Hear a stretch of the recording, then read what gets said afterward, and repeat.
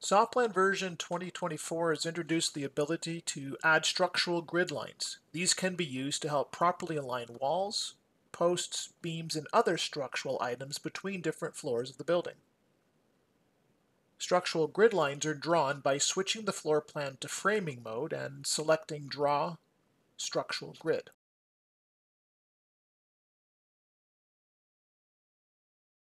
Horizontal grid lines are ordered numerically, while vertical grid lines are ordered alphabetically.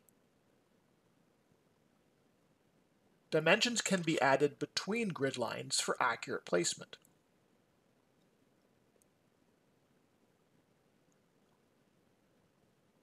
Or existing grid lines can be copied for an even spacing.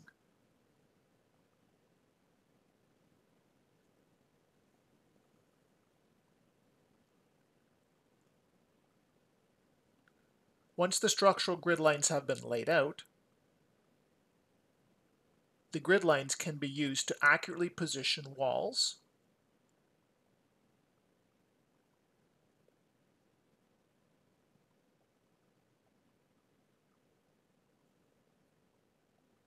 posts,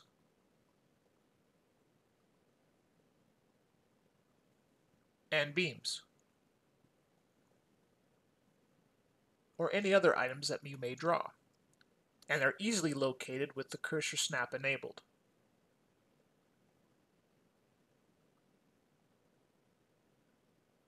Copies of the main floor plan can be used to create upper or lower floor plans. Once the upper and lower floor plans have been created, the existing structural grid lines will be automatically shown for any floor plan that is added to the model. If a structural grid line is not required to be shown on a floor plan, it can be made hidden to remove its visibility.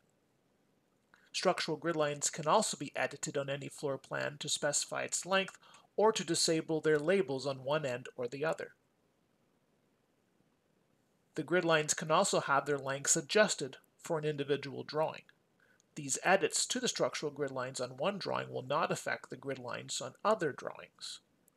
When the model is viewed in 3D, structural grid lines will appear as partially transparent planes to further help aligning the structural elements between all floors.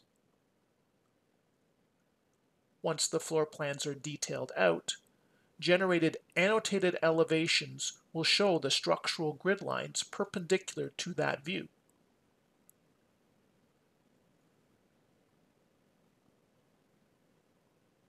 Annotated cross-section views will also show perpendicular grid lines.